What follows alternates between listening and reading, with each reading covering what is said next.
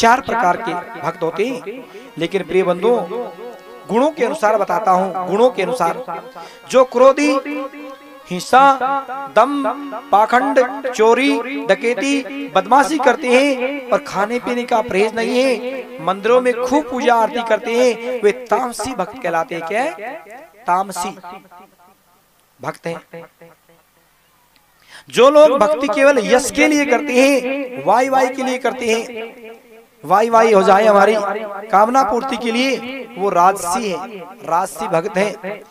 अपने पापों को नाश करने के लिए अपना कर्तव्य समझ करके भजन करते हैं। ऐसे भक्त सात्विक भक्त कहलाते हैं। और एक भक्त और है भैया जिसको कुछ भी नहीं चाहिए। कोई लेना देना ही नहीं है। कहते हैं मतलब ही नहीं है कोई लालसा नहीं है। निर्गुण भक्त है उसको निर्गुण भक्त कहते हैं। ये ना यश चाहता ना कीर्ति चाहता ना पाप से मतलब है। और कहते हैं वह भगवान के प्रति प्रेम हो गया है बस।